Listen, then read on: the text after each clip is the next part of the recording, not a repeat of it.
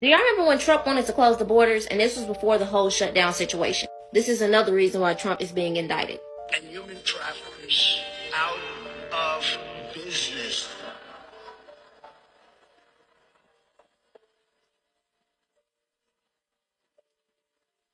Human traffickers and sex traffickers take advantage of the wide open areas between our ports of entry to smuggle thousands of young girls and women into the United States and to sell them into prostitution. Now we know the movie was based on a true story, so Timothy Ballard actually got to sit down with Trump and talk to him about the situations. This is why they're trying to investigate Trump because Trump is going to talk about the stuff that nobody wants to talk about. Now, Trump closed the borders. Biden opened the borders. Now we got situations like this. So, on April 28th, 2023, 85,000 migrant kids went missing. They just lost them. They don't know where they're at. So, to make sure I still have an account by tomorrow, this video is scripted, not real, and for entertainment purposes. Y'all remember all them Disney employees who were in a trafficking situation? There is an underground tunnel that Disney has for the cast members, and the trash cans in the Disney park also go to the underground tunnel. I'm trying to make sure this video doesn't get took down, so I'm gonna just say shipments. People are discovering crawl spaces, hidden tunnels, and all types of different rooms inside of these hotels. A woman even had to go off on a hotel staff for giving two strangers a spare key to her room. Here are the other names if y'all need the info. Watch this.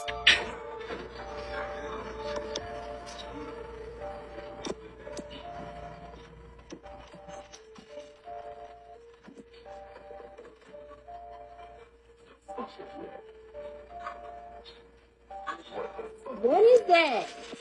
In a hotel?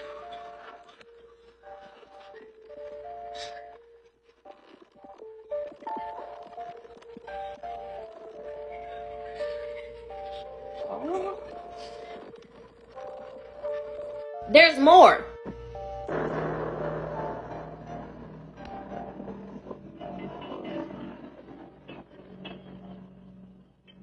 있다.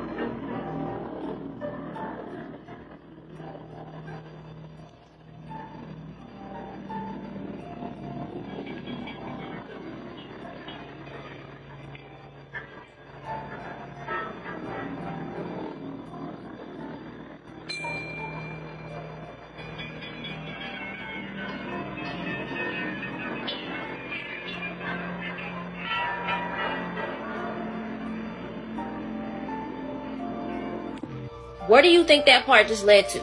And they're even making more lenient laws. Watch this. California is now considering a bill that would send children as young as 12 years old to group homes without the parents' permission. This will affect every single parent in the state of California. I'll give you an example like this. Your 12 year old has TikTok, your 12 year old has a cell phone and social media, and you're not comfortable with the way that he or she is using that social media. You get you try you take the phone away, you ground them for a week or two, and they go to school. Where now the state has in, inserted these professional individuals, professional people on to public school campuses. And your child is having a hard day, the teacher notices and recommends that they go get a counseling session. When they at that session, they divulge, they share with this adult who they believe is a trusted adult who's taking care of them, and they share they had a total terrible blowout fight with that uh, you and your husband or your partner. They don't want to go home. They don't feel comfortable talking to you.